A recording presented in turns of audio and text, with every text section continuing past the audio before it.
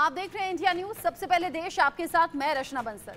जम्मू कश्मीर से लेकर उत्तराखंड तक प्राकृतिक तांडव देखने को मिल रहा है। जम्मू कश्मीर के रामबन में ज़मीन धस रही है और ज़मीन के धसने से 60 से ज़्यादा ऐसे घर हैं जिन्हें काफ़ी ज़्यादा नुकसान पहुँचा है। तो वहीं राजस्थान का बीकानेर है, जहाँ पर करीब करीब डेढ़ बीघा ज़मीन 50 फीट नीचे धसने से इलाके में दहशत का माहौल है। घटना के बाद बीकानेर जिला प्रशासन और भूगर्भ विशेषज्ञ अभी जाँच में लगे हुए हैं और पता लगाने की कोशिश कि आखिर ऐसा क्यों हुआ। घटना को लेकर कुछ कारणों का पता लगाने की कोशिश है। खुलासा अब तक कुछ नहीं हुआ है। उधर उत्तराखंड में आग का तांडव लगातार जारी है। आग को बुझाने के लिए सरकार अपनी तरफ़ से कोशिशें कर रही है। हाई लेवल मीटिंग्स चल रही हैं। बावजूद इसके, आग पर किसी तरीके से काबू नहीं पाया जा सका है। तो एक साथ तीन अलग अलग हिस्सों से इस तरीके की घटना, जिससे आम लोग दहशत में हैं, लोगों को समझ में नहीं आ रहा कि इन घटनाओं के पीछे रीजन क्या हो सकता है। जाँच चल रही है, प्रशासन की नज़र बनी हुई है और ये जो अलग अलग घटनाएँ हैं, वो लोगों को सोचने पर मजबूर कर रही हैं कि आखिर हो क्या रहा है। सबसे पहले रामबन के बारे में आप जान लीजिए, जहाँ पर ज़मीन अचानक से धस रही है और ज़मीन के अचानक से धसने से कई घर ऐसे हैं जिन्हें नुकसान पहुँचा है।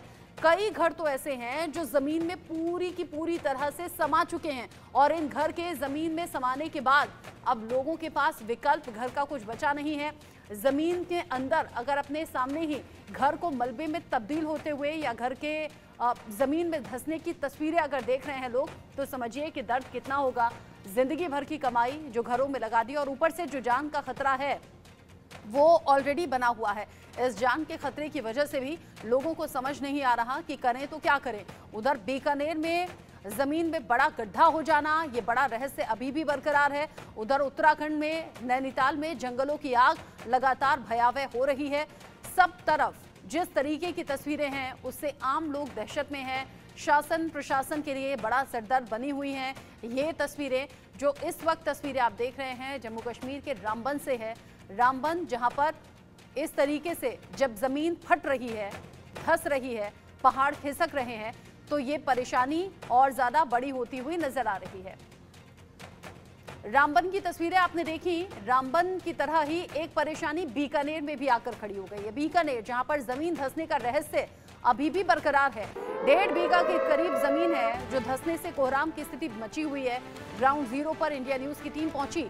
और इस वजह को तलाशने की कोशिश की कि आखिर कैसे ज़मीन पर ये इतना बड़ा गड्ढा हो गया। ज़मीन का जायजा लिया, आसपास लोगों से बात की, अचानक से रातों रात ये घट्टा, गड्ढा आखिर कैसे हो गया?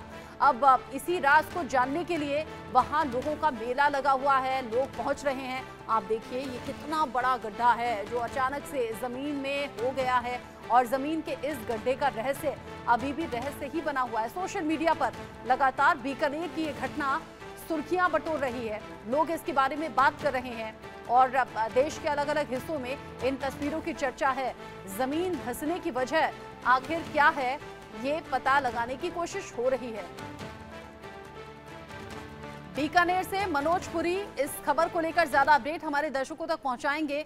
यूँ तो देश के अलग अलग हिस्सों में कुछ घटनाएँ हैं जो लगातार रहस्य बना रही हैं और रहस्य बरकरार रख रही हैं। बीकानेर का रहस्य कुछ खुला क्या, मनोज? आप पहुँचे वहाँ पर इंडिया न्यूज़ की टीम लगातार वहाँ पर जाँच कर रही है, अपनी तरीके से इन्वेस्टिगेशन जारी है। ज़मीन में अचानक से इतना बड़ा गड्ढा, आखिर हो कैसे गया? जी, बिल्कुल ये जाँच का विषय है और लगातार भूगर्भ विशेषज्ञ है जो इसकी जाँच पड़ताल कर रहे हैं। हालाँकि अभी आज इस गड्ढे को हुए तीस, तेरहवा दिन है और अभी तक किसी जाँच पर जो एक टीम आई हुई है जो लगातार जाँच कर रही है। हालाँकि अभी तक खुलासा नहीं हो कि ये गड्ढा आखिर कैसे हो गया? जी। जिस वजह से ये गड्ढा हुआ वो इनके वक्त हुआ या फिर क्या ये गड्ढा इतना ही चौड़ा इतना ही गहरा था या फिर ये धीरे धीरे बढ़ रहा है? गड्ढे के साथ ही धंस गई है जैसा कि हमारे दर्शकों को हमने वीडियो के माध्यम से दिखाया था और वो पिकअप चालक के समय पिकअप चालक है जिसने ग्रामीणों की मदद से दूसरी गाड़ी मिल बुला के और उसको टो करके वहाँ से पिकअप को निकलवाया और लोगों को इसकी जानकारी गिरी थी। लेकिन बिजली से गड्ढा हो गया अलग अलग वजह जो आम लोगों के ज़रिए बताई जा रही है मनोज कह रहे हैं आम लोगों का ये कहना है कुछ साल पहले बिजली गिरी थी इसीलिए गड्ढा हो गया और अलग अलग कुछ रीजन